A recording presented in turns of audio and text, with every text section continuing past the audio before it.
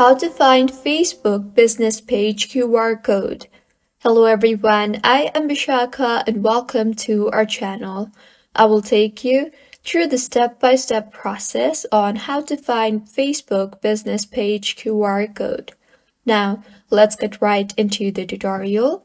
Firstly, go ahead and open the Facebook application on your device. Once you have opened Facebook, make sure you are logged in to your Facebook page and not your Facebook profile. If you are in your Facebook profile, then tap on your profile icon on the bottom center and beside your name you will see the switch option.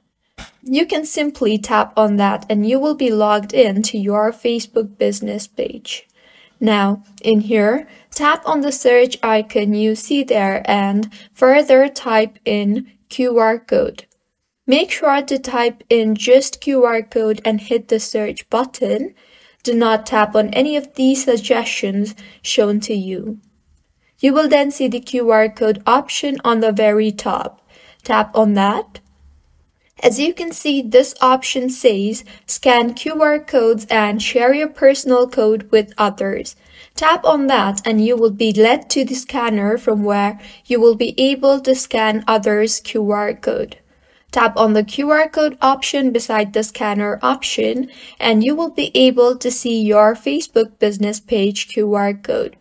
You can share the QR code on your timeline or you can save it to your phone.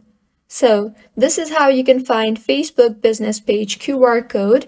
If you find this tutorial helpful, please like the video and do subscribe to our channel for more contents like this.